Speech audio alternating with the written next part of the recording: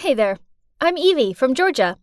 So, I look like a regular teenage girl, right? Just you wait till you see what I can do.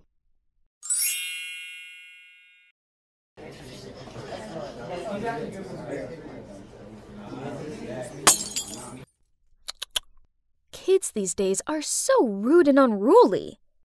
I blame the parents. There's just no discipline anymore. See, they don't even respect their principal. But no big deal. I know just how to handle them. There we go.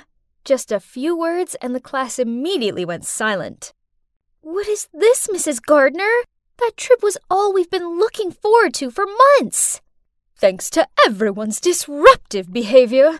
Well, to be exact, thanks to the actions of you, 25 out of 300 students, no one has anything to look forward to this year.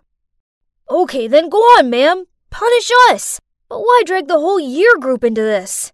Other classes will definitely not leave us alone after this. Nobody likes being punished. That's why it works. Now, let's see what your peers make of this, shall we? The whole class was buzzing with, So unfair! Abuse of power! Wicked witch! Oh my! These kids, always full of energy. Go back to your seats and write an apology letter to Miss Helen, along with a promise to never misbehave again, or else. All of them reluctantly sat down. And there we have it. Oh my god. Who are you? I. I. Um. It's just that these unruly students need to learn a lesson for getting Mrs. Helen so exhausted that she ended up in the hospital. And so you just decided to mimic me? Well, then please inform your mum. We will have a talk about this. Here, tomorrow morning. I glumly walked home as slowly as possible. As soon as I walked through the door, Mum was glaring at me. Yup, my mum is Miss Helen, the kindest homeroom teacher ever. However, the kids in her class made her life a misery, which led Mum to get high blood pressure and end up in the hospital. I just wanted to help her, but instead, I just managed to make things worse. Hi, Mum. I'm sorry, but I don't regret what I did. Mum started lecturing me about how it was bad enough that Dad had left and her students were rebellious without me acting like a crazy person. Crazy person? She means the times when I copy the people I want to be? But that's my hobby. I inherited that passion from my father, a famous special effect makeup artist. The feeling whenever I successfully transform into someone else is awesome. And it also helps me feel connected to my dad, even though I haven't seen him in a long time. It all started when I was 13, and Dad helped me dress up as my fave idol for the school festival. Dad taught me how to analyze the character and practice the disguise bold eyeliner, smoky eyes, contouring, plus the bodycon outfits. I looked like a real CL from 2NE1. My friends loved my new look. So over the next few years, I masqueraded into many different people, including Lady Gaga, Avril Lavigne, Miley Cyrus, and Sia. The feeling that my makeup talent was that admired and anticipated was just really addictive. Hey, is it Billie Eilish this time? Why not Taylor Swift? I love her so much. I've always done whatever I want and always been exactly who I am. Wow, you got that spot on. Are you a shapeshifter or something?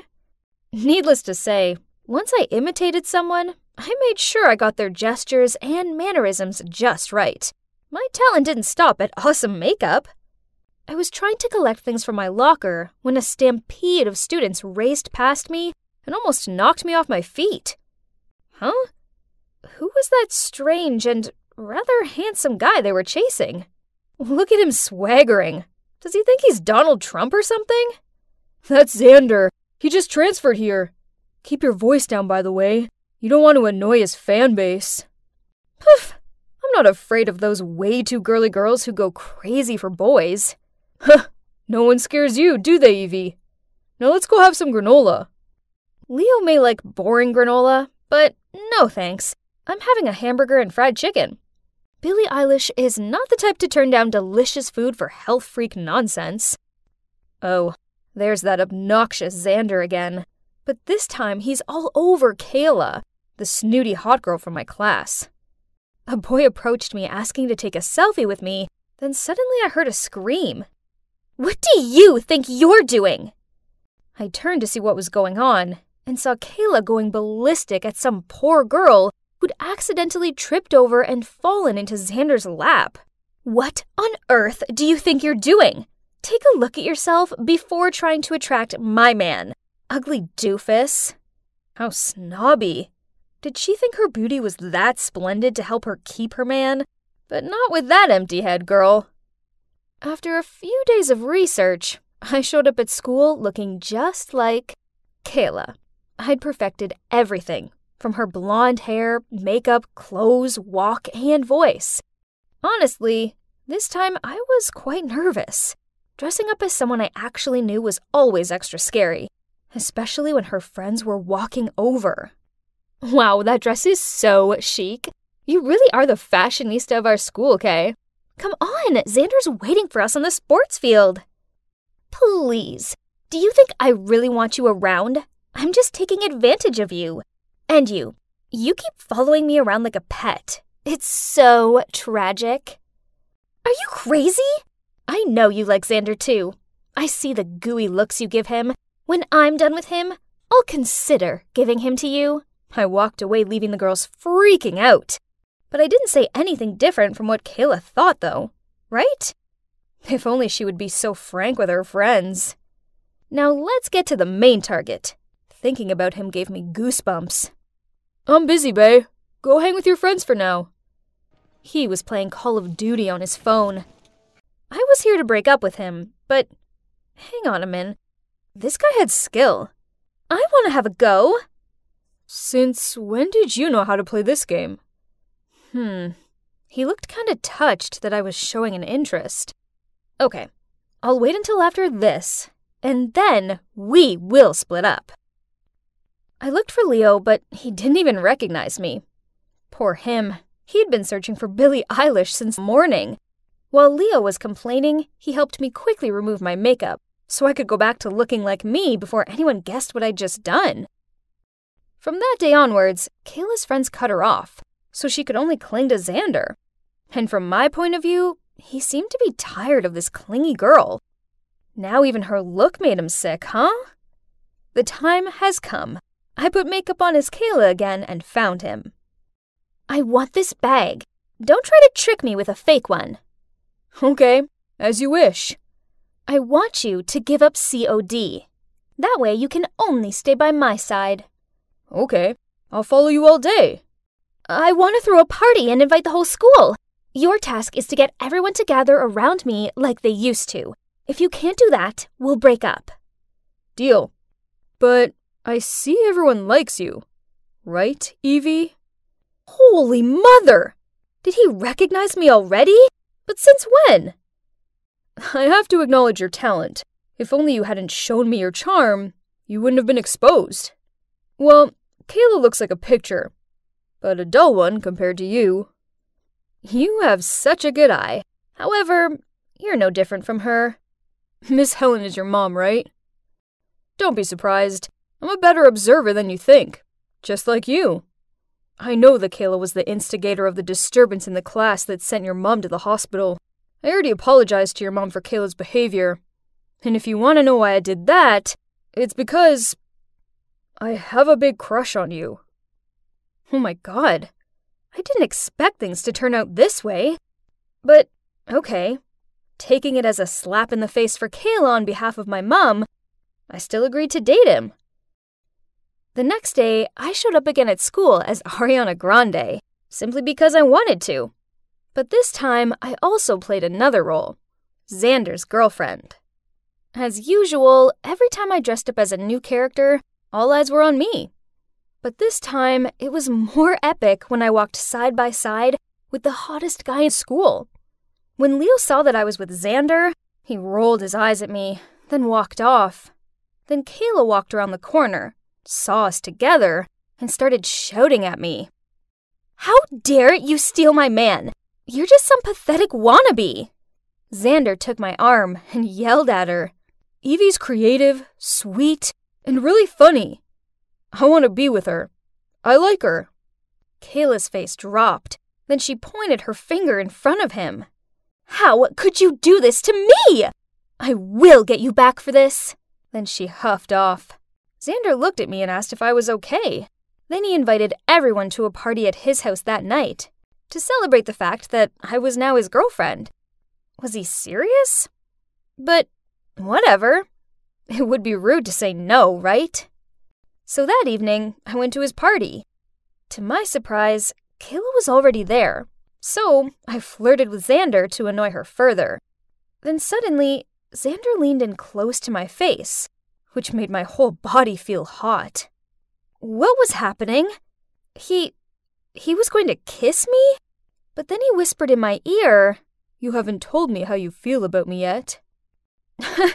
you were looking forward to this answer, weren't you? I.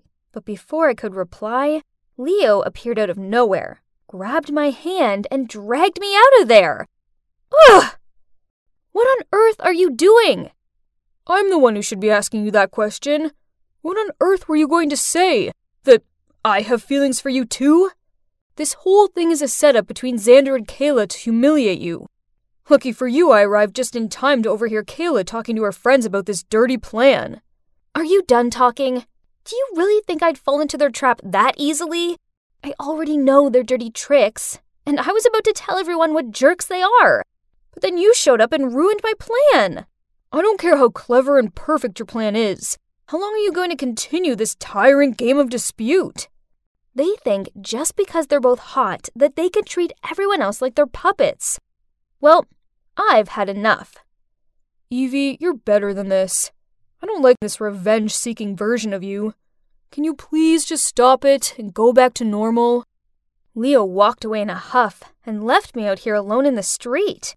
I stormed home and took off my makeup. Why was Leo so mad at me? I did nothing wrong. The gentle Leo I knew never had gotten mad or even went against my will, and was always the most enthusiastic supporter every time I imitated someone. What had gotten into him? I called him continuously, but Leo turned off the phone. Ugh. I felt so alone, it was horrible. Then I heard a knock on my door. Mum peered her head around it. Seeing me upset, she came over and cuddled me.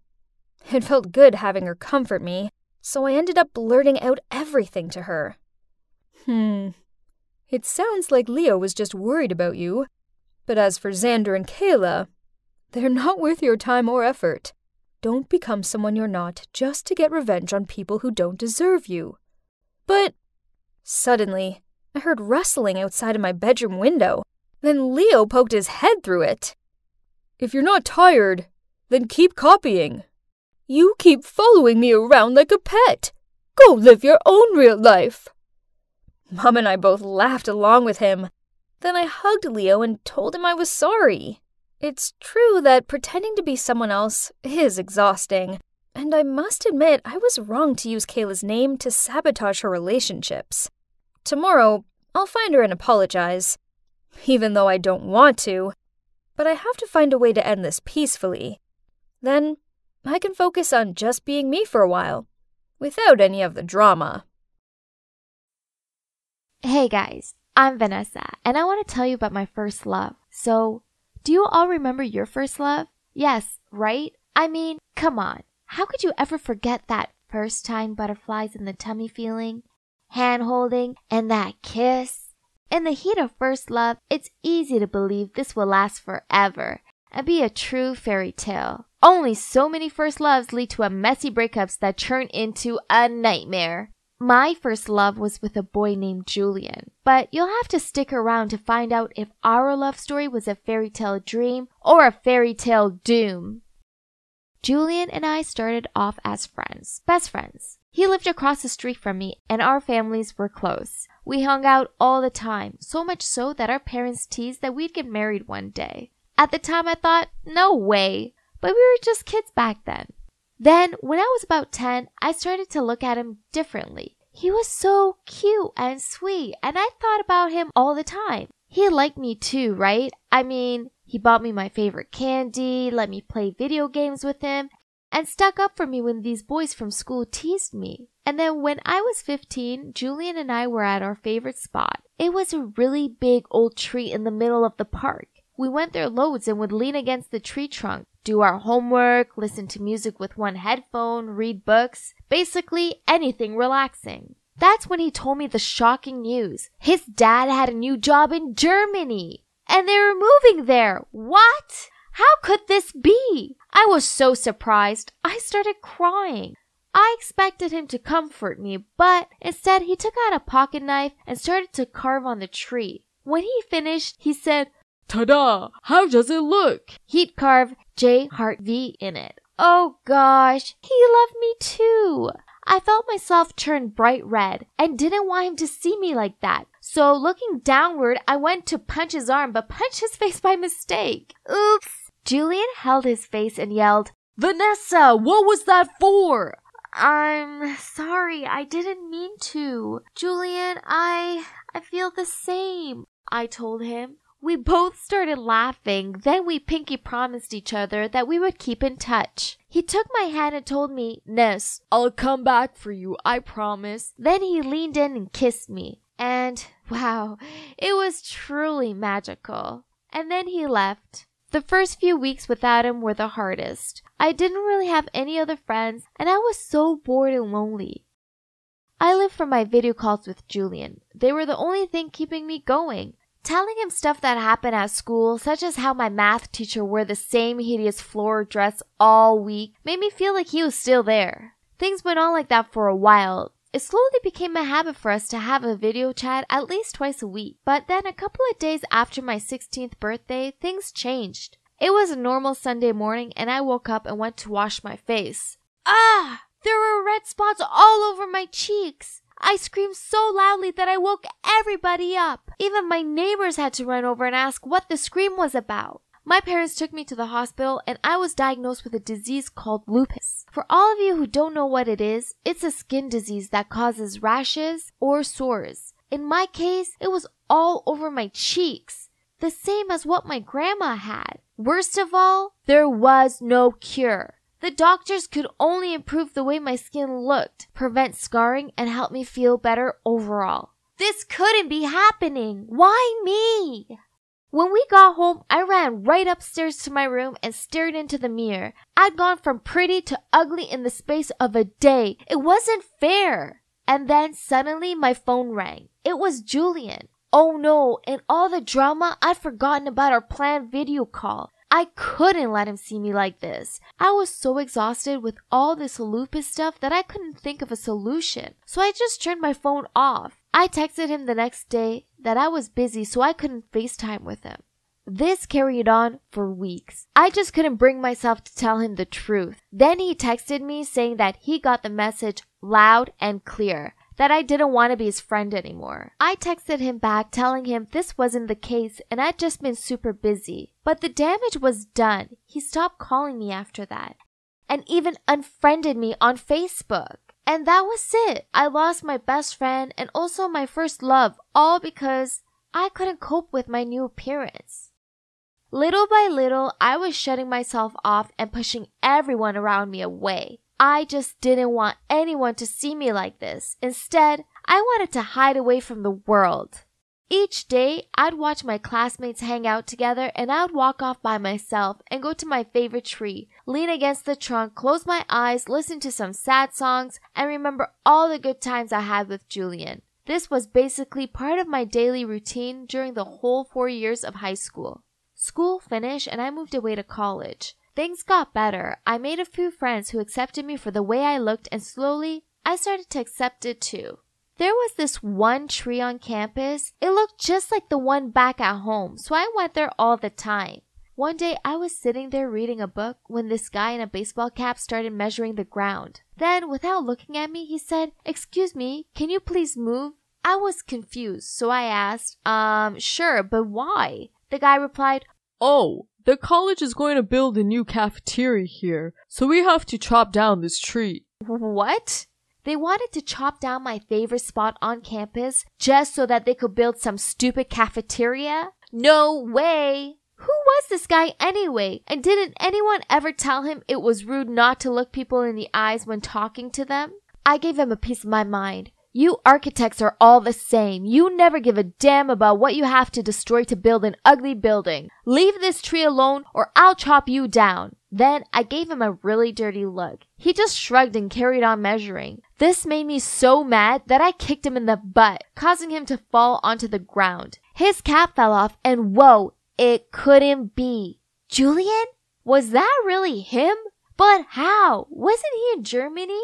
Why was he here? And why didn't he recognize me? I mean, I had a different haircut and all, but I didn't think I've changed that much. Or was it because of my lupus? Suddenly, I heard him say, What the? Are you mad? What's wrong with you? Oh gosh, I'd totally forgotten that he was still lying on the ground. I mumbled out a sorry and immediately rushed back to my dorm. That night, I couldn't sleep. Instead, all I could think about was Julian. He was so handsome and so tall. How could he have become so good looking? Ah, why did this stupid disease pick me? There was my first love right in front of me after all those years apart, but because of my disease, he didn't know who I was. He blossomed and I'd, well, I hadn't. Maybe it was for the better that Julian didn't recognize me. If he knew this was how I look like now, oh boy, I didn't even want to imagine how embarrassed I would be. So, okay, let's just put it aside for now. What I first needed to do was save my tree. There's no way I was letting the college chop it down. I did some research and found out that the construction would begin in a week. So I had time to convince as many students as I could to protest against it. And when the day came, I had about 20 people with me. We all held signs and said, save the tree and stop the chop. The head of campus, Julian, and the construction workers were trying to make us leave, but we were persistent. At the end, they had to push back the construction dates. One of us remained by the tree at all times, come rain or shine. It was exhausting and cold, but it was worth it when the tree was saved. Then, one day when I was on tree guarding duty, my friend rushed over to me and excitedly told me that the college was going to change the location of the new building. That was such great news. Apparently, Julian had told them that the ground was more suitable in another location. Why would he help us all of a sudden? Did he have a change of mind? I went to class with those questions that kept bugging my mind, and right after school was out, I came over to the tree again, and to my surprise, I saw Julian standing next to it. I walked towards him and asked, Why did you convince them to change the location of the building? I mean, we really appreciate it, but why the change of heart? Julian froze for a second and then said, I was sitting on the couch watching a movie with my mom and dad when suddenly the door slammed shut and we all turned our heads to see what happened. Yep, that's my big sister Taylor making an entrance. She slumped down on the couch and banged her feet on the coffee table. Then, as she scrolled through her phone, she looked up at us and huffed out, Uh, why are you all gawping at me like I'm an animal in a zoo? Am I not welcome here? Flustered, my mom immediately replied, No, sweetie, we're all delighted to have you home. Then she turned to me.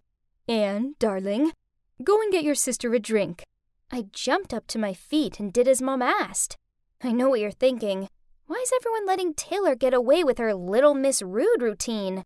You see, after a huge argument with Mom, she left home at 18 and didn't come back for seven whole years. Mom seemed so pleased to have her back, so I decided to ignore Taylor's attitude and just go along with it. That afternoon, Mom asked me to go to the grocery store with her so we could buy Taylor her favorite foods, as well as a welcome back gesture then we spent ages preparing this delicious meal. I excitedly rushed up to Taylor's room and knocked on the door. Taylor, dinner's ready! She shouted back. Go away! But it's hamburgers, and we got a special dessert, I replied. Poof! I hate hamburgers, and there's no way I'm eating some sugar laden dessert. I went downstairs and told Mum that she wasn't coming. Mum shrugged and tried to act like it was no big deal, but I could see the sadness in her eyes. Dad tried reassuring her by saying, She probably just needs time to settle in. Yeah, she's probably just tired, I added. Mum forced out a smile and thanked us both. Then she prepared a plate of food and asked me to bring it to Taylor. I knocked on her door and told her the food was outside. She shouted back at me, Take it away! I don't want it! I left it outside of her room, but later on, when Mom went up to bed, she saw the untouched plate of food still there. She picked it up and she took it downstairs and made out like it was no big deal. She wasn't fooling me. I could tell that she was biting on her gum to stop the tears. When I was little, I idolized my feisty, beautiful older sister. I loved how she wore clashing colors, the cool ways in which she styled her hair, and her carefree nature. The problem was that she didn't seem to like me. All she ever did was call me a brat, slam her bedroom door in my face, and tell me to stay away from her. Seven years on, and I thought things would be different. She wasn't a teenager anymore, she was an adult. But nope, it seemed clear that Taylor hated me even more than ever. I don't know why. Didn't she view me as a proper sister because we had different dads? You see, my dad isn't her dad, as her dad left when she was a little girl. Then Mum met my dad and had me. I don't know. I just couldn't figure out why she still disliked me so much. As the weeks went on, Taylor didn't seem to settle in at all. Instead, her behavior worsened. She played loud music until the early hours of the morning. She covered the house in her clothes, plates, cups, etc. She was the messiest person ever and never cleaned up after herself. One time, I came downstairs to see her sitting at the dinner table, munching on the sandwiches I'd made for school. Then, when I politely told her this, she snorted and said, They're gross anyway, so I'm doing you a favor. Then she took Mom's car without asking her, and that meant she had to get the bus to work and ended up late. When Mom talked to her about it, Taylor just smirked, threw the keys at her, said, You're out of gas, then walked off. Mom tried to keep calm and distracted herself by tidying up. So I tried hugging her, but she shrugged me off and told me to go away. It felt like Taylor could get away with everything, while I was the one getting snapped at for nothing. Still, Taylor must have been through a lot, right? Maybe she just needed some time to reconnect with Mum again. Then peace would be restored to our household. Just when I thought things couldn't get any worse, they did. I was reading in the living room when I heard voices coming from outside. I went to check it out and saw Mom and Dad talking to our new neighbor. They sure looked friendly. Then Taylor appeared and grinning said, Making friends with the neighbor, are you, Mum? Mum flustered out, Taylor, this is Bill, my old classmate and our new neighbor. Isn't it a small world? So, you're Mum's age? Whoa, you don't look like it.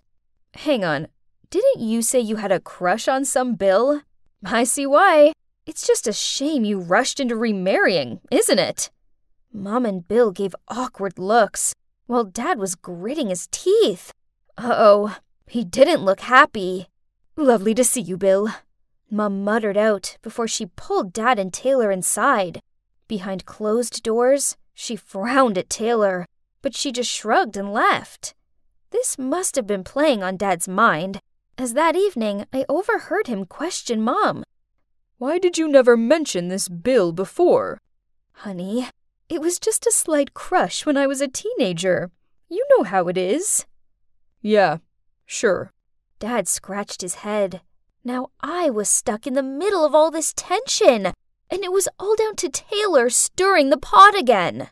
Then a couple of days later, Dad came home from work and immediately started freaking out. The bank called. Apparently, I spent an obscene amount of money in a watch store. Was it you? Mom shook her head. I didn't know anything either. Then Taylor piped in. Speaking of buying stuff, we do need to get something for Bill's birthday. I mean, he did invite all of us, so it'd be rude not to. Uh oh. I know Mum hadn't got round to telling Dad that Bill had invited the whole family to his party yet. Dad gave Mum a skeptical look and snarled, Oh, I see. You used my money to buy your high school sweetheart an expensive watch? Listen to yourself! You're being ridiculous! I'm not going to stand around and listen to you accuse me like this. Then Mom stormed off. I really wanted to tell them how this morning I'd seen Taylor lingering in their room, looking suspicious. But how could I bring this up when the atmosphere was so intense? I decided I needed to confront the source of the problem Taylor. When it was just the two of us, I said to her, I know it was you. I saw you snooping around Mom's stuff. She just shrugged and replied, Little Anne, seems you're smarter than you look. Yeah, I did it. So what? Why are you being so cruel? Mom and Dad might split up because of you. To my shock, she grinned and she said, Well, that is my plan. Why should you get to play happy families when I'm stuck here without my dad? What? How could she be so selfish? I couldn't hold back my frustration anymore. How can you do this to Mum? I won't let you get away with this. Is that so? And what exactly is a quiet mouse like you gonna do about it? Then she shoved past me and walked off. I know I needed to tell Mom, but this meant breaking her heart. I was going to do it. I just needed to find a gentle way of telling her that her beloved daughter got a buzz out of ruining her life. But then, before I had a chance to figure this out, something terrible happened. The next day, I arrived home from school to find Mum and Dad in the kitchen. Dad had his arms folded and a stern look on his face, and Mum was in tears as she sadly peered down at some papers on the table in front of her. Divorce forms. What? What happened?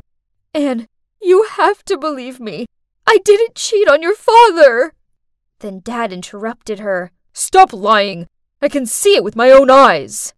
Then he slammed a stack of photos onto the table. In the photos, Mom was kissing Bill in a cafe. Huh? This didn't make any sense. I don't understand. I didn't meet Bill yesterday. I met my friend Sandra. But Dad just got even more furious. Then he pulled his suitcase towards the door. Stop lying! I can see what happened clear as day. I can't trust you anymore. Then he left. Mum cried harder after that. I didn't know what to say or react. I wanted to believe Mom, but those photos told me differently. Suddenly, the door opened and Taylor strolled in, looked at Mom crying her heart out, and gave a delighted smirk, then went upstairs. That's right, Taylor! She must have something to do with this. So I kept an eye on her. As I passed her room, I heard her on the phone. And without a second thought, I went to find Mum and dragged her upstairs. Anyway, I owe you this time, dude. Yeah, those photos did the job. yeah, thanks.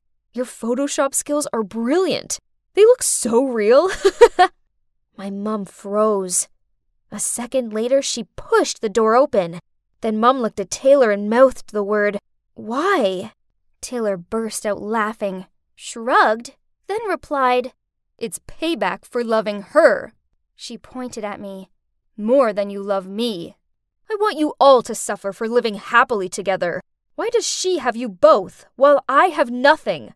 Furious, Mom slapped Taylor across the face and shouted out, I'm ashamed of you, and I want you to leave right now. Taylor clutched her face and snarled back, With pleasure. I hate it here anyway. Then she stormed out of the room, slamming the door behind her. I hugged Mom and we both started crying. My happy family had been destroyed, and all because my sister was jealous and thought Mom loved me more. It was all so crazy. Then, later that evening, Mom received a call from the hospital. Mom's face dropped when she told me that Taylor had been in a car crash. We rushed to the hospital, and the doctor told us Taylor needed emergency surgery. But as she'd lost lots of blood, she needed a blood donation. The problem is that she had a rare blood type, but luckily, Mom had the same. So without any hesitation, Mom told the doctor to take as much blood as Taylor needed just to save her. After the blood donation, Mom didn't recover as fast as expected. Instead, she turned weak and needed medical care. So now, Taylor was in the surgery room and Mom was in the intensive care unit. This was terrifying. What if I lost them both? I called Dad and spilled out everything that had happened to him, and he immediately rushed to the hospital. The wait was agonizing, but when the doctor came and told me they were both going to be okay and I could go and see Taylor, I cried with happiness. Seeing her lying there bruised and afraid, I saw a vulnerable side to her that I hadn't seen before. So I took her hand and told her what Mom did for her. She looked embarrassed and turned away from me and muttered out how sorry she was for everything. After that, I visited them both every day. Dad came to the hospital too to check they were okay, but he waited outside of Mom's room as he knew she was still mad at him. Finally, Mom came home. Then a week later, Taylor was also discharged. We went to pick her up, and even though Mum and her didn't talk, I could feel the warmth between them. That night, we were having a cozy dinner. Taylor coughed to clear her voice, then said, Guys, I want to say something. I know I've been a total brat, and I'm sorry. Mum, I thought you didn't love me because I was a reminder of your previous life, and I was ruining your new, happy family vibes. But now I realize how sacred the mother daughter bond is. You never left me out, I left myself out. And Anne, I'm sorry I haven't been the big sis I should have been for you. I was jealous of you, but I was wrong to be that way. I hope you can both forgive me. Dad also apologized to Mum for misunderstanding her. We were all blubbering, and then we all hugged each other. We didn't need to say anything. Our actions were enough. We were family, and we loved each other. Families aren't always straightforward, but family is family, through the good times and the bad. And they're always worth fighting for, regardless of how out of this world annoying they can be at times. Trust me, I know all about it.